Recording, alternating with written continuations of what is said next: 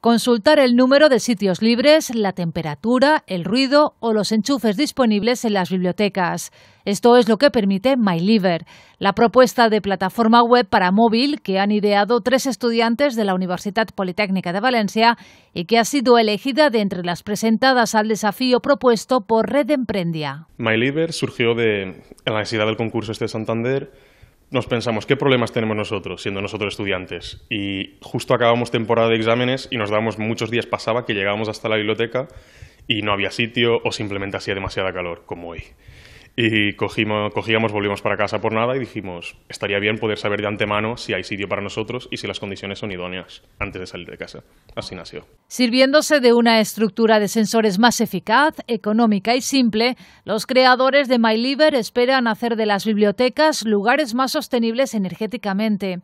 La propuesta de Eduardo Tolentino, Alberto Tamarit y Víctor Micó, estudiantes del grado en Ingeniería en Tecnologías Industriales de la Politécnica de Valencia, ha obtenido el premio del tercer desafío ¿Qué servicios innovadores demandan los estudiantes universitarios?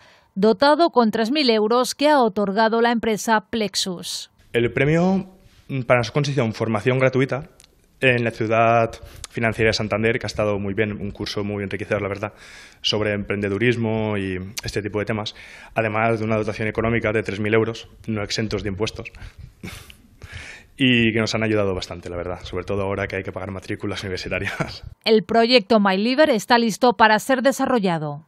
Ahora mismo tenemos implementado a nivel teórico e incluso hicimos un pequeño prototipo eh, claro, ahora mismo no tenemos capital para llevar a cabo la idea, además de que necesitaríamos el apoyo de una institución como una universidad, por ejemplo la Politécnica, o cualquier institución como el Instituto de Ideas o Red Emprendia mismo, que también nos llamó.